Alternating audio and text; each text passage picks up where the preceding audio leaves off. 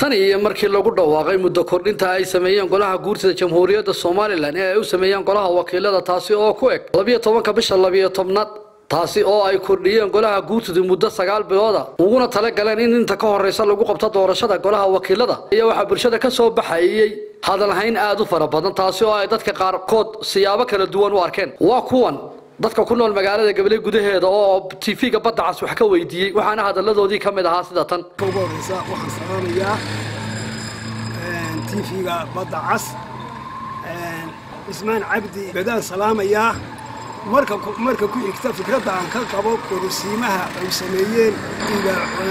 guddida guurtidu aad baan u hambalyaynayaa. Sagaalka bilood ee ay ugu dareen xildhibaanada ay u kordhiyeen aad baan u hambalyaynayaa aad iyo aad baan u hambalyaynayaa. Doorashadana waxaan jecelahay inaanay dhaafin. Wakhtiga loogu talagalay inaanay dhaafin baan jecelahay. Tallaabada ay qaaday guurtidu hambaliyo hambaliyo hambaliyo boqolkiiba boqol baan ku salaamaynaa ku garab taagannahay haddaanu nahay dadweynaha. Somalilan meel kastoo uu joogo waxaan ku darayaa golaha degaanka sidiisaba isaga inaan waxba loo kordhinee la kala diro.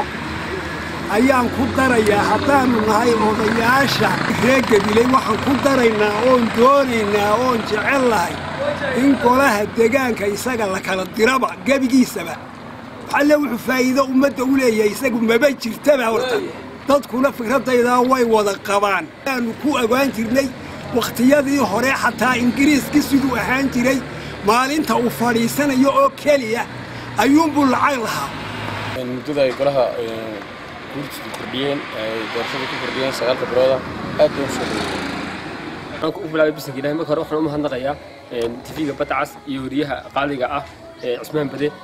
Anoo ka hadlaya muddo kordhisi la kordhiyey. Horta waxaa la yaabaa tiin ah in labada xisbi la kala qaado oo la idhaahdo midna uu dowladda raaco midna laga dhigo waxa dadka kale laga dhigo. Waxay dhib ku leedahay. Waayo marka hore waddani iyo ucid waxay haayeen laba mucaarida oo isku mowqafa waxaan la yaabanahayd waxa durtaba hoos geliyey ee isbarkadeen kulmiye iyo iyo ucid waa sabab marka hore weligiiba ucid u ahaa laakiin waxaa noo caddaatay maanta ucid inuu yahay dowladdu barkan yahay oo lagu ku shaqaysto aanu laakiin xisbi ahayn mucaarida aanu ahayn ayaa ka caddaanaysa وأيوه ما كهر نكا يسكو هاي معارض كا أيوة ذا شقي سنين أي أيوة سكو متك هاي موقف كا هاي بو كقرب كا وحا بيش عارف كا نو نوفي عن مكا سمن هذا أيوة صدق تسببين أيوة ذا كلام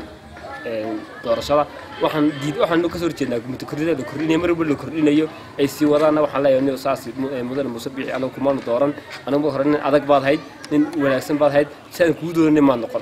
وعن هالكنادي يا دوكو السلام يا دمان كلها قوتي ذا xilkii saarnaa iyo waajibaadkii ay guteen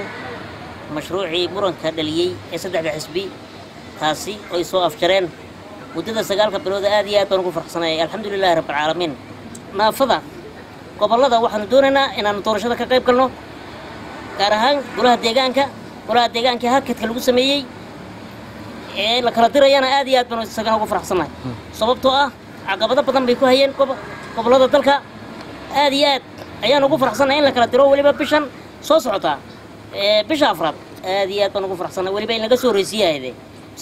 halka haddaan raygayga ka dhiibto muddo kordhintii shalay guurtooda ay u sameeyeen in loo kordhiyo muddo sagaal bilooda wuuna soo dhoweynaynaa arrinkaas sagaalka bilood ee loo kordhiyey golaha wakiilada ee somalilan waxaan leenahay golaha wakiilada muddadaa maanta laydii kordhiyey iyona dhici inay mar labaad laydii kordhiyo ee sharciyadii waa inaad si deg dega idiguna aad u qabataan oo iminka aad u samaysaan. Waa inaad u samaysaan iminka howlo fara badan baa idii yaalla howlaha idii yaallaan waa inaad imika diiwaangelintii baa idiig taala diiwaangelintii saami qaybsigii arrimo fara badan baa yaal sagaal biloodna way yar tahay oo beri toolun bay noqon marka sida ugu dhaqsaha badan leh arrinkaasi in lagu soo gebagabeeyo oo sagaalkaa bilood ay baarlamanka waxay ka quseeyeen ay iyaguna dedejiyaan xukuumadda iyo saddexda xisbiyana ay qacmaa isqabsadeen ay dedejiyaan xisbiga waddanina waxaa leeyahay. Labada xisbi ee kale qaranku waddada ay mareen qaad bade badda cas gudaha magaalada gabiley